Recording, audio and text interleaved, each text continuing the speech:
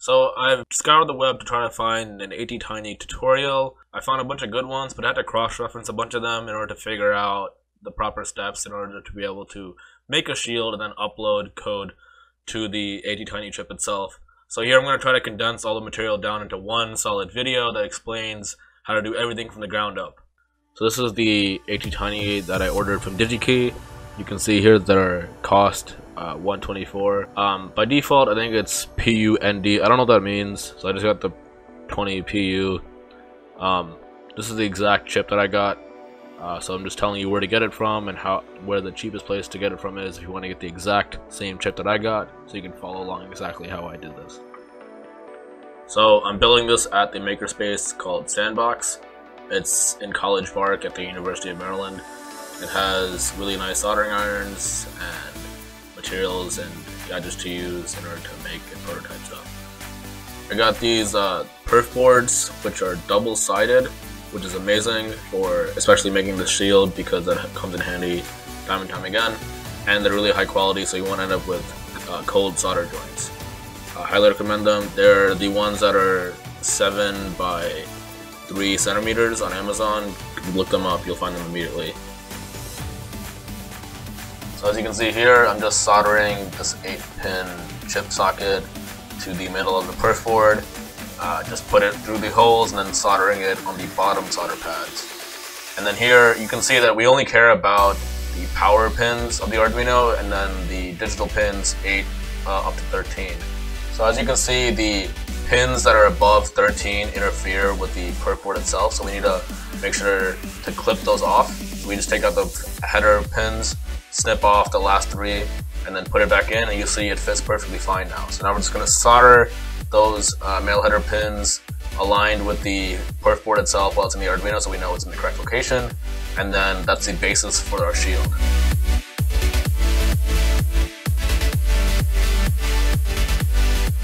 Okay, so now we're going to get into the circuit schematic itself. I made this drawing in Fritzing to show exactly what pins you need to connect to the ATtiny itself. So we see here that pin 1 connects to pin 10 on the Arduino, uh, pin 1 on the ATtiny. Pin uh, 4 connects to ground. Um, pin 5 connects to 11. 6 goes to 12. 7 goes to 13. And then 8 goes to 5 volts. It's important to note here that we have a capacitor that's 10 microfarads going between the reset pin and ground pin. Um, and that's basically all we need. We just need these six connections and the capacitor, and that's it. Uh, so pause, freeze, freeze frame this, whatever, take a screenshot, whatever you need to do. This is the best drawing I can make of exactly what you need to do, and it's probably the guide you're going to keep referring back to whenever you're soldering your own shield. Okay, so this is a little bit of a convoluted method, but this is the method that I found to work best, and this is why we need a double-sided perf board uh, with solder pads. So we strip some wire, insert it into the next to the pin that we need to solder to on the 8 pin chip socket. And then what we're going to do first is just to hold it in place, solder the top side of it. Just put a little dollop of solder just to hold it in place, right? And then on the bottom side, we're going to connect the rest of the wire that we stripped off before to the pin that we need to connect to on the 8 pin socket. Then I'm going to mark on the perf board which pin I need to solder to in order to connect to pin 13 on the Arduino side. Then we just strip the wire again, put it through the hole that's correlated with that pin that we just marked, turn it over, and then solder that to that male header pin that connects to the Arduino. Okay, so now that you saw me finish one wire, we're gonna do the second one. It's gonna be connecting to pin 12 instead of pin 13. So we're just gonna go through the same exact process that we did before. Um, I'll just shut up so you can just watch exactly what I did. So you can get an intuition to how to do this yourself if you want to make this shield exactly how I did.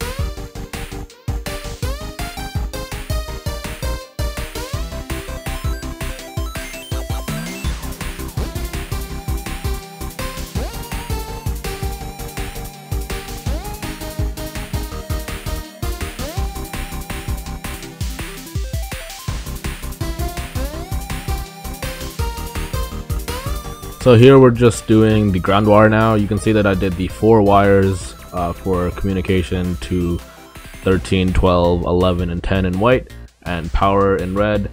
And now we're just attaching the last one. I'm just doing green for ground, exactly the same way as we did before, connecting it through the hole, putting it all up for solder, and then connecting it. So here we're attaching the capacitor uh, from the reset pin to ground pin. It's important to note that we connect the longer lead of the capacitor to the reset side because that's the positive side, and then the shorter lead to the ground side. So we can easily determine uh, from looking at the Arduino that the reset pin is 4 pins away from ground. So on the perf board, we just go 4 pins up from ground, and then solder the 2 pins together, and then solder ground together, and voila, we have it done. Now we're just attaching the final piece to it, the chip itself, the ATtiny, into the 8 pin chip socket and then we're done. Now we need to just program it. Alright, so first open your Arduino IDE.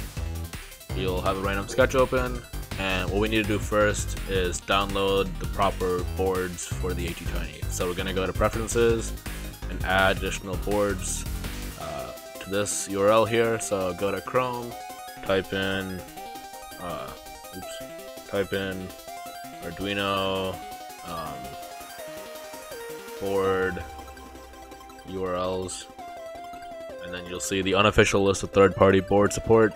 Go here. So this has all your various boards you can just download through the Arduino board manager itself. We're looking specifically for the ATtiny ones. So we'll go to here copy this link and paste it in here and then click OK. So now we can go to Tools, um, go to Board, and then Board Manager, and we'll type in ATtiny, and we'll see this thing come up. So I've already installed it, but if you haven't, you'll see a little install button here. Click it, and then close out of here. So now, as you can see here, I have the option for ATtinys. Uh, at the bottom right here, I already have it chosen, but for right now, we're going to be programming an Arduino normally. Uh, so in order to make an Arduino um, be able to upload code to the ATtiny itself, we need to upload specific code to it to make it a programmer itself. So that's already provided by the Arduino IDE itself. Go to examples, go to Arduino ISP, and click on that. You see this here. Don't really worry about the code itself because it's too complicated pretty much to understand. You don't really need to care about it anyway. Um, all you need to do now is just plug in your Arduino, so let me just do that here right now. Right, and then it pops up as an Arduino Uno for COM8, and then just make sure your programmer is set to Arduino as ISP, and there we go. And then we just click upload, you should upload to the board fine. Make sure that your shield that we just made is not plugged into the board right now because the capacitor is connecting the reset pin to ground, and that screws up uploading code to it. So just make sure that nothing, nothing is plugged into the Arduino right now.